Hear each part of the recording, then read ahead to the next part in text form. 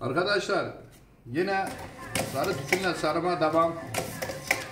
Bizi çekemeyenler anten taksın. Makinamız her türlü tütünü, her türlü makaronu inan ki sorunsuz ve ideal şartlarda doldurur.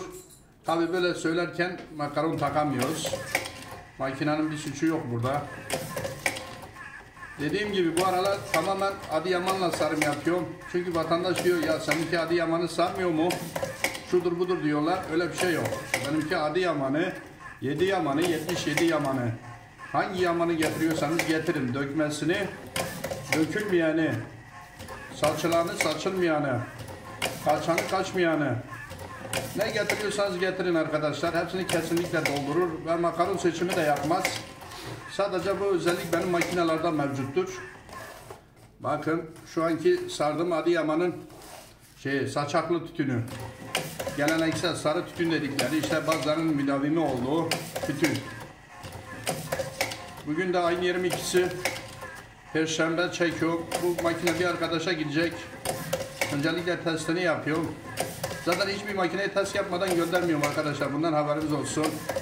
Makinamızın şeyi de vardır, pedalı da vardır. Hem butonla hem pedalla çalıştırabiliyorsunuz. Zaman ayarı, efendime söyleyeyim potansiyometre, anakart, özellikle adaptör hepsi bize aittir. Dışarıdan almıyoruz. Hepsini kendimiz tedarik ediyoruz. Çünkü bir makinenin giderinin olması için öncelikle adaptörün çok güzel olması lazım.